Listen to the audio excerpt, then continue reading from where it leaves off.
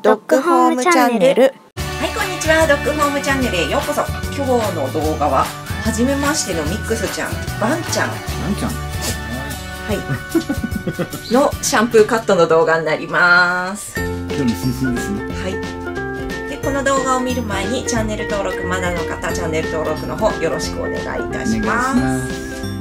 なんちゃん、バンちゃん。よろしくね。子供的にはじゃあ楽だけどね。ただやっぱりこうやってブラシ入れてあげないとダメだけど。あ、そっか、やっぱ。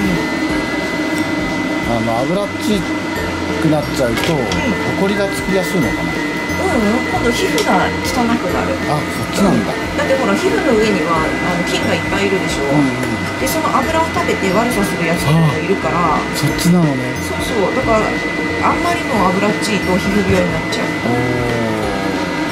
どっちもどっちですな。そうすると。そうあのほどほどが一番いいんだけど、うん、だ確かに。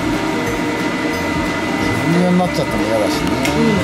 から油の出過ぎの皮膚病って本当大変で、まあ、これ100回話で前どっかで言ってると思うんだけど、洗うじゃん、うん。うん。12時間したらもうしっとりしてるええ皮膚病で？脂肪症っていう、まあ、油の出過ぎの病気だよねあそういうことかうんだから今はちょっと水道中止にもなっちゃってるんだけど、うん。そういう子は無糖パックっていう温泉の素硫黄の温泉の素はいはいはいにはい。つけてあげてほぼねその子預かってた時2日に一遍洗ってたかな。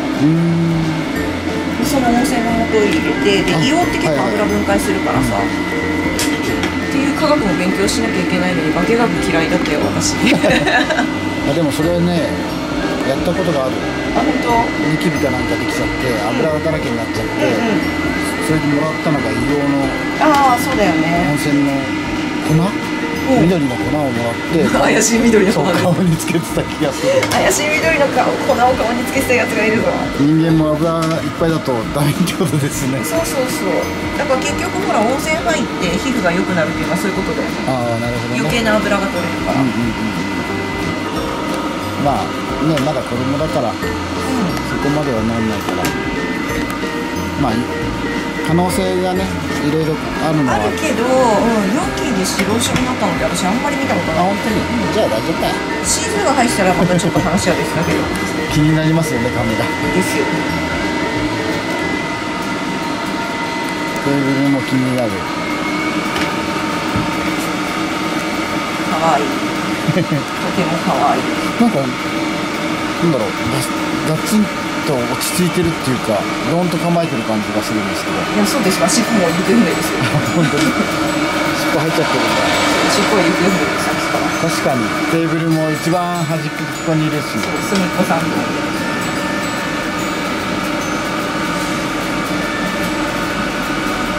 気になっちゃう気になっちゃう。まずは慣れてね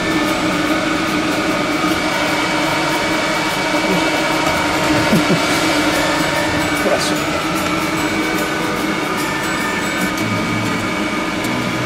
あどんなスタイルにしましょうかね。迷いどこですね。たまあ楽しみは楽しみなんだよね。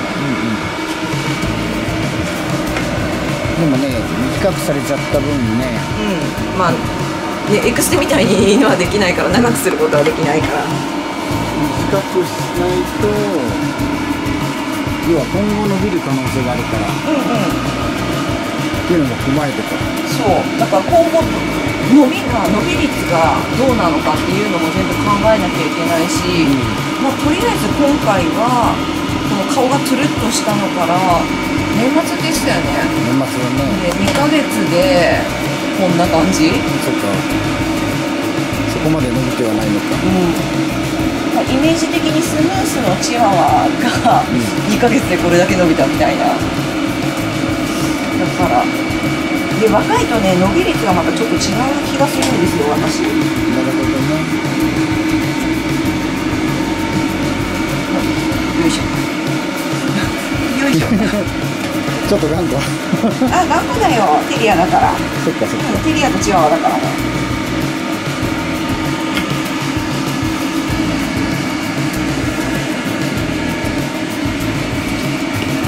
ちゃカカメラにアップアップくるんですけど、ダメだよ、これじゃあ。飛び降りそうだよ。ね本当に怖いスらば飛んでみる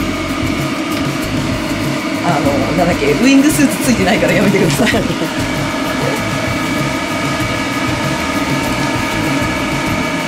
うかけてパラシュートをつけて本当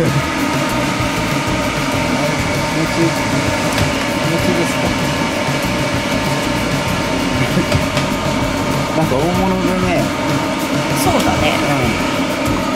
そのうち寝出すそうなう寝ちゃいそうな感じ。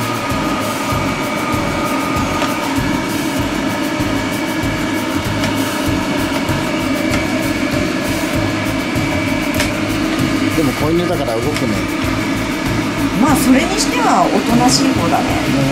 多分初めての場所だから緊張してると思う。はい。まあそうっすね。うん、うん、はい。なるだけ早くやって早く返してやりたいんだが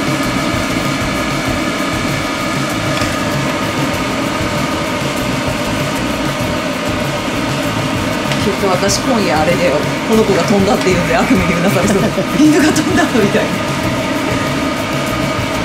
でも冷たかったからうんそこはナイスキャッチでよかった。でも絶対ですなはい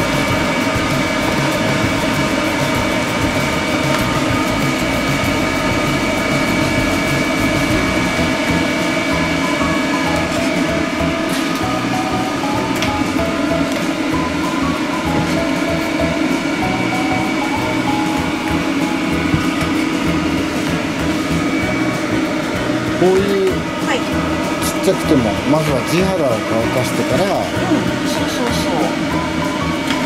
それで徐々に乾かしてうん毛足の長いところと短いところがあるからね、うん。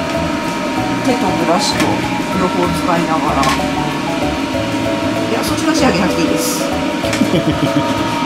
逃げようとしてるな多分。うんただ逃げようとしてるよ多分こういうまあ当たり前だけど、大きい音が怖いんだと思う、ああそうだね。うん、さっきシャワーシャワーっていうかホースの音もすごい嫌がってたし、そりゃあね犬でいるとねあんまりこういうこと経験したくはないよねで9ヶ月だからもう初めて見るものを好奇心では見てくれないから。ああそっか怖いんだそう全部がこう全てが怖いんだ。なんだなんだじゃなくてなんか怖い。怖い。何あれ怖い。怖いの？大丈夫よ。もうちょっとね。今カメラ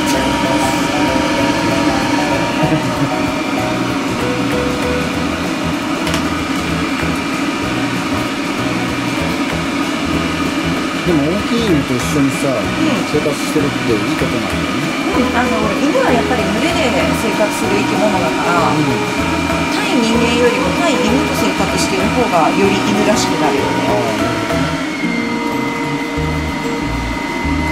うちのレイちゃんなんかめっちゃ犬じゃないですか。はい。人間の言うことをほぼほぼ聞かないじゃないですか。お兄ちゃんがいればまずお兄ちゃん探すんだよそうお兄ちゃんがいれば無敵だと思ってああこの子の気質はちょっと難しいかもな。うんうんじゃなくてね今ポサポサ出てきてるけど、そんなに伸びてない毛があるのね。だからなんか変なダブルコートと混じってる混じってる感じ。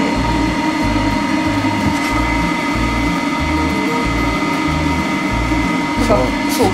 この表現もさ普通だったらこの耳のここで止まるのに伸び続けてるのがこれだけちょこっとあるから難しい、うん、全体的に伸びんじゃなくてそうそう。ピンポイントそれだけ伸び伸びる。腕の見せ所だねとは言えない自分がいる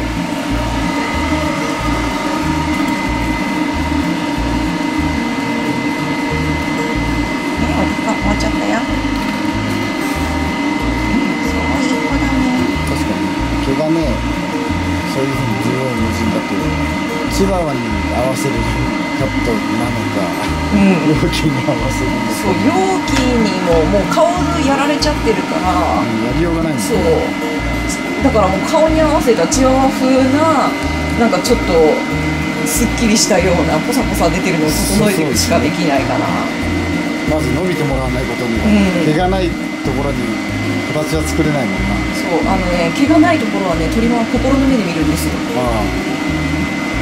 でここにきっと毛がこういう毛があるはずっていう心の目で見てハサミを動かしていくんで。想像力が。そう。なるほど。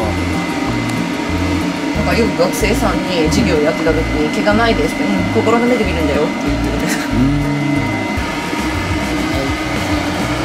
はいいい感じいい感じ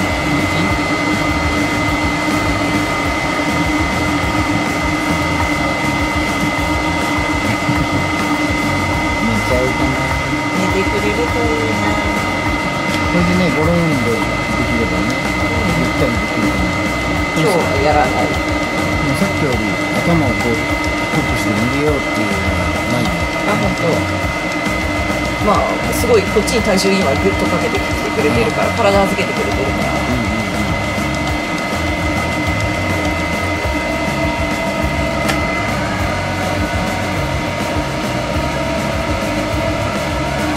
お顔が伸びてた時ってどんなだったんだろうね。そうだね。全体的にあの本当にヨークシャーみたいにうわっしゃーってなってたのかねこういう表現が気になる。だから均等にバリカンに入れたってことは均等に刈られててもそんだけ毛の長さの違いが出ちゃうってことでしょ。そうですね。一緒でしょお顔ちょっと伸ばせなんかマズルが短い子はトスで細かいところを引いてあげる感じですかあのブロの時短のテクニックなんだけど。だってこんなとこさドライヤーガンガンやったら鼻も熱くなっちゃうし確かにそうだ息ね苦しくなっちゃうからさっさかさーって終わりにしちゃう確かに。目ん玉目にずーっと風当てられてたなって話か。そうそう。だったね。可愛いなんかああと尻尾。じゃあこっちに行こう。あと尻尾っすよ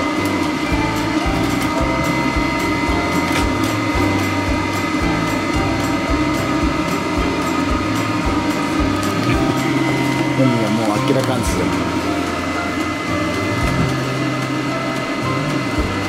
でもなんか慣れ方が動きがなくなってきたからキョロキョロだけはしてるけど。うん。